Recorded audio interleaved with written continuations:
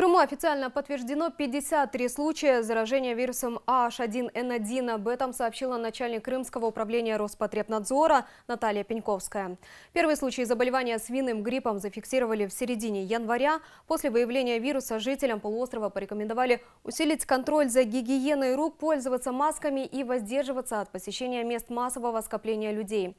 На карантин полностью закрыты две школы в Ленинском районе, а также в Гаспре и Севастополе. Всего, по данным Крымского управления Роспотребнадзора, учебный процесс временно остановлен в 65 классах в 26 школах полуострова.